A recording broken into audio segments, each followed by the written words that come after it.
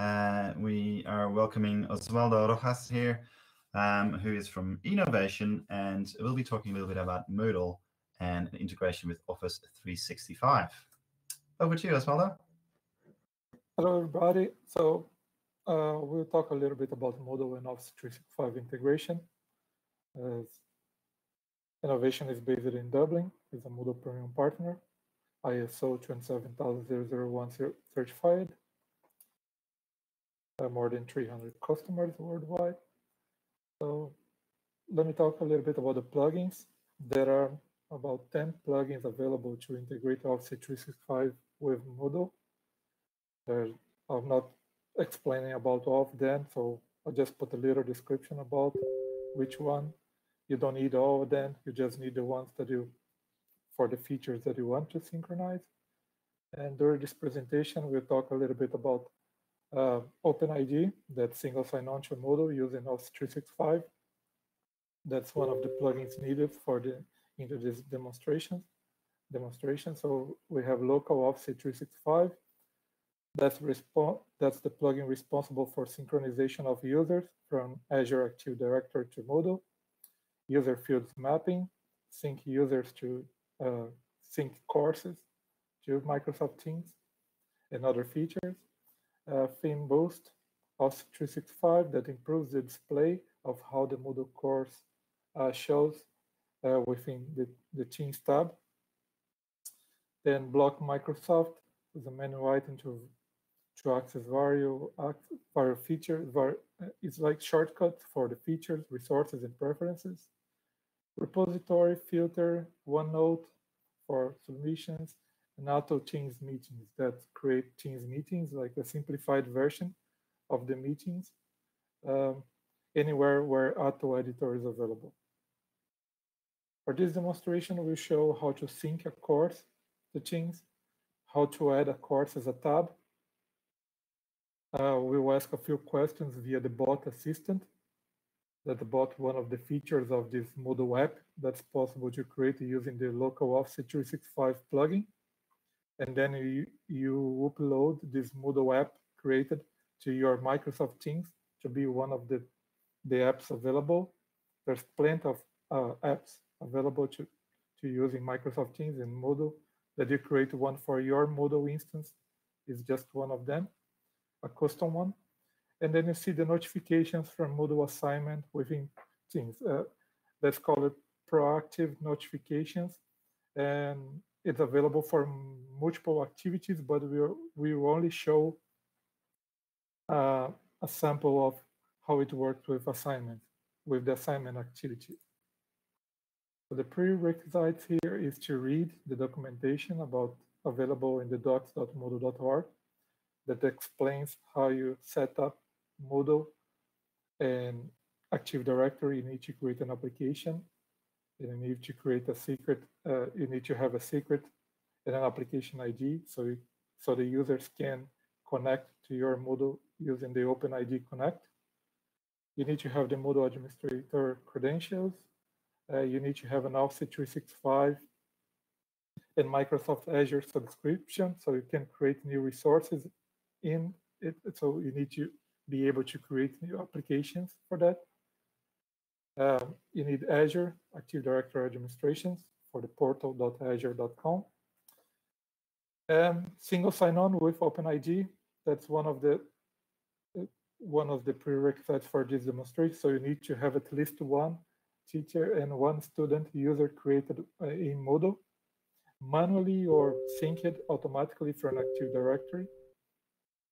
But the most important is for the demonstrations, you need the, all the students and all the teachers, they must be logging into Moodle using the OpenID Connect. We are not covering how you configure that, but we, uh, that's pretty straightforward. You, you have a PowerShell script available in the lo local Office 365 plugin that you can download and create an ap application pretty quick and then you copy and paste the secret and application ID to the OpenID plugin settings, and that's it. Single sign-on is working. And most complicated part is the Moodle app created and uploaded for your organization.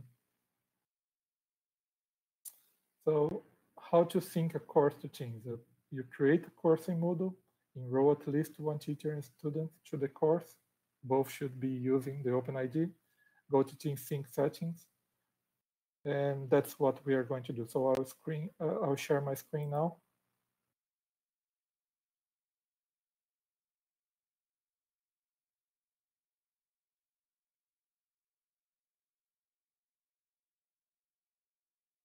So I already have a course that I want to sync um, to Microsoft Teams. I already have as well a, a teacher here logged in. I'm sorry as, as well, though. I don't think you're sharing your screen just yet. Second.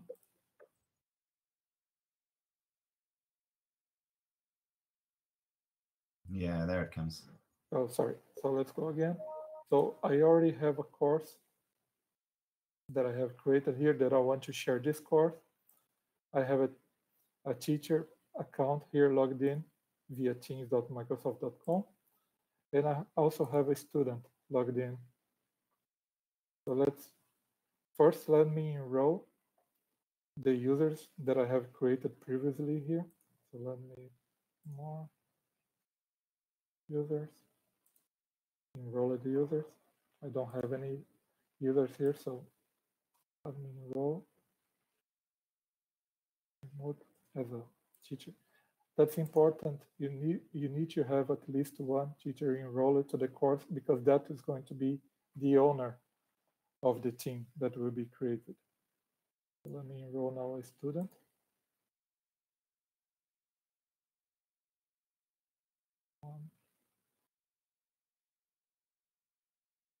Student enroll as a student.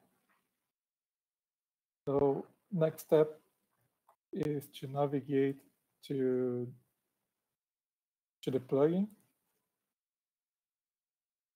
So let me go to the place, so site administration, plugins, local plugins, Microsoft Office 365 integration, uh, sync settings, you have the options to synchronize the users that we are not covering in this presentation. And you have the team sync. That's the feature. And I don't want to, to share, I don't want to sync all the courses, just one or two. So I'm going to customize and then customize groups so I can select the course that I want. In this case, this is the, the course. Search for the course that I want to sync. Enable all the options and save it. And then I just run cron. So the course was not showing here. And after the after the cron is finished, after the, the cron is complete, there is one task that will uh, create the group, the Microsoft team for that course. And that should start, see, that starts showing for, for the teacher and for the student. So the team was created with the same name of the course. The teacher was enrolled and the student was enrolled as well. Um, I have created a Moodle app previously. So the Moodle app is, is already uploaded here to my tenant. So I can start using this Moodle app. Let me just go back a little bit for the next step of my presentation. Stop sharing. So use the bot assistant. That's the second part of the, the presentation. Log in as a teacher user, find the Moodle app, type help and click enter. So let me share my, my screen again so we can do the second part. Is the course. There's nothing there yet. And where do I find the bot? The bot is in the chat. Send a card. At the moment that you add the Moodle app and you log in the first time here, you, you can start using the, the bot. So I can type the questions here. If I don't know the questions available for teachers, I, I can use the help. What can I do? And type help. And it should load the list of questions available for, for me. So how many assignments have incomplete submissions, what assignments are yet to be graded, which students have been absent. Let's see, we have all the, these questions available. So what assignments are yet to be graded? And it retrieves a list of the assignments that needs grading across all the courses that I'm enrolled. In this case, this is the test assignment that, that I have created for that course.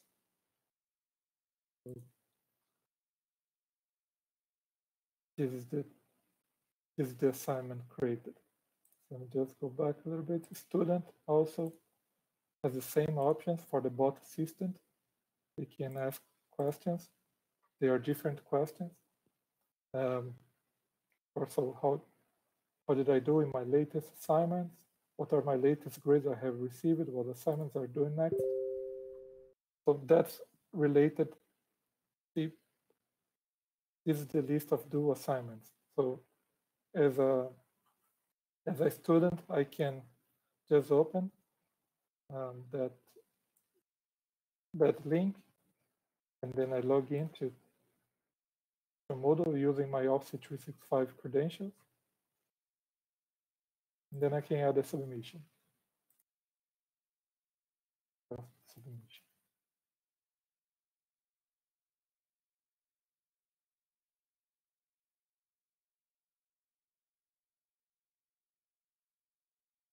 At the moment that I submitted, uh, the teacher student received a notification about the someone sent a submission. So that's the proactive notifications. So that that's not in the order that I wanted to show. Uh, that was the last slide, but this is how the proactive notifications happen.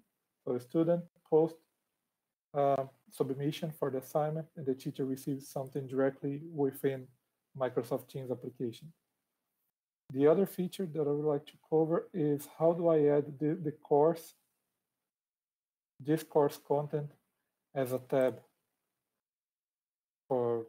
for the channel that I just created here for the Microsoft Teams. So with, again, is another Moodle app feature. I just add a new tab. I search for the Moodle app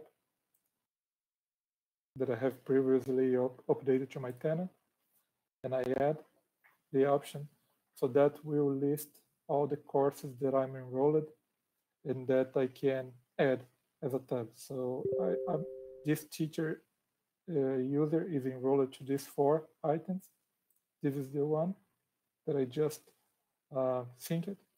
So if I save it, a new tab is created that will show all the, the content of the course here as an iframe as a tab.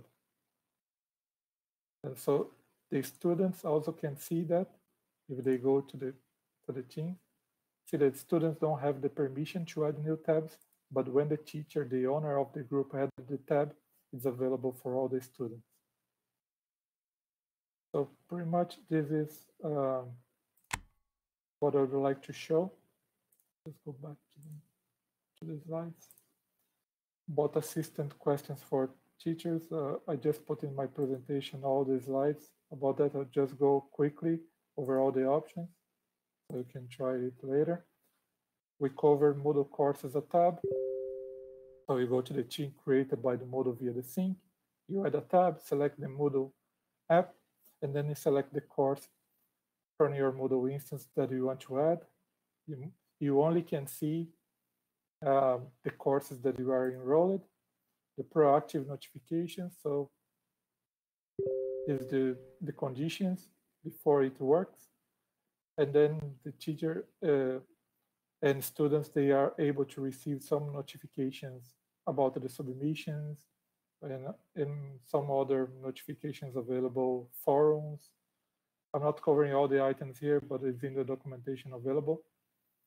So I just I would like to show quickly how it works and the possibilities also it can be improved You can include more notifications for other assignments, and that's it. The documentation and bug tracker is available here if you have any questions, and you can always reach to Enovation for any questions. We intend to provide more comprehensive documentation and videos about all these features uh, later in our blog, Enovation blog. Fantastic. Thanks very much, Oswaldo. Um, you know, I think you would have gotten a lot of requests from people over the last few months. Uh, it must have been very, very busy for you and the team. Um, we've got a question from uh, Thomas here in the Big Blue Button chat. Um, is it a possibility to have a Moodle activity for this integration, um, a bit similar to an LTI connection? Is that something you guys have thought about or are working on? Uh, that's about the Microsoft Teams meetings, probably using the Atom meetings. Um, it, it, it, may be something similar.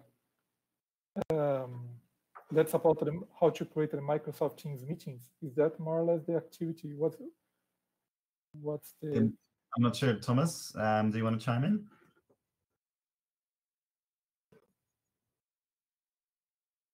No, just no. open a thing. No, there's no plans for for that yet. No, just to okay. open. No, but there's no link. The only link available between Moodle and Microsoft Teams at the moment, uh, with the plugins available, is to add a tab to one of the, the team created. That's a group, a kind of a group, and then you add the tab, and then you add the course. In the course, you show you see the course embed as an iframe in that tab that for the moment is the only thing available. Okay. Um, there's a few questions on the forum here. Um, first one is by Sylvia. Will this integration be available in the student teacher version, which I'm assuming she means just in Moodle core. I mean, at the moment, it's a set of plugins. Are all of the plugins downloadable from the plugin database? Yes, they are. They are actually, they are for free as well.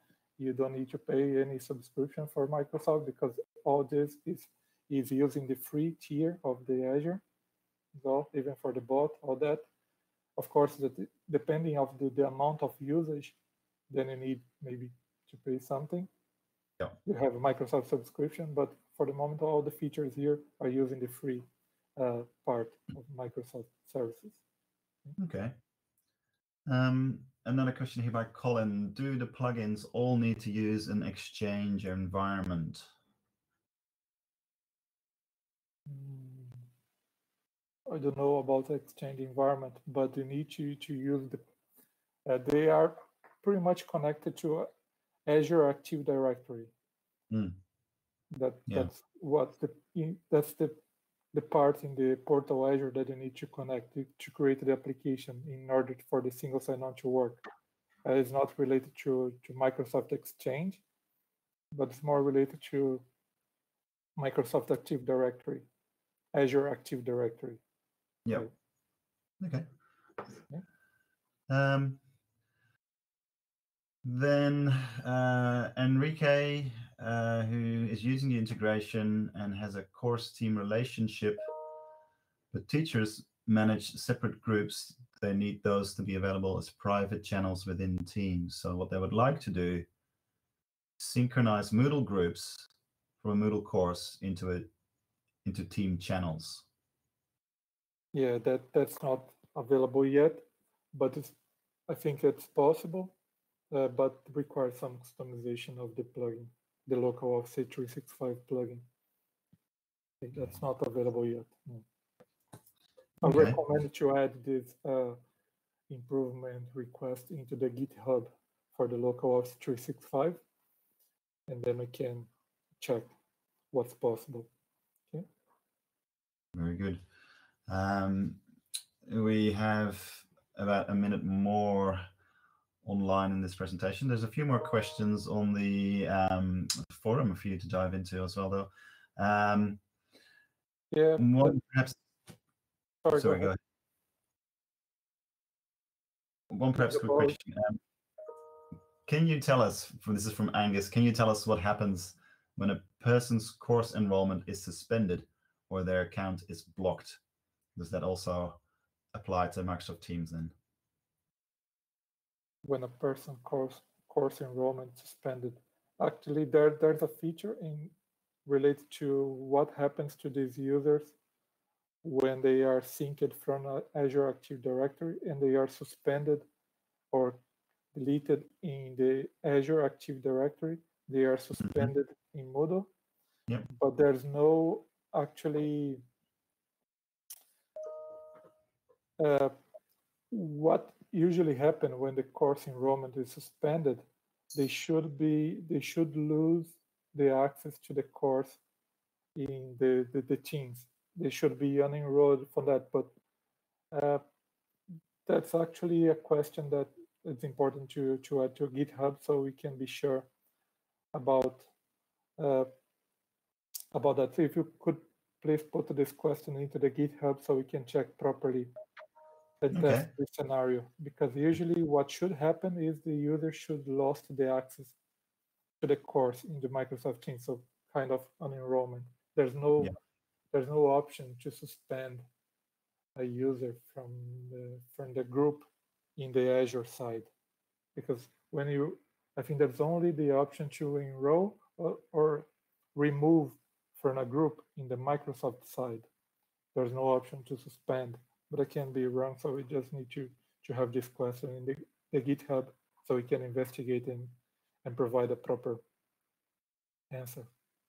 Okay.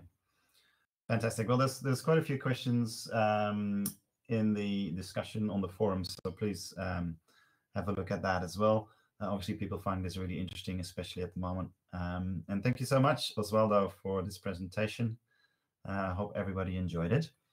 Um, and then we'll wrap up for this session. And um, there is a little break after this. Uh, this room starts uh, again in just over an hour. Um, so uh, hopefully um, everybody gets to enjoy more sessions then. Thanks, everyone. Thank you. Bye.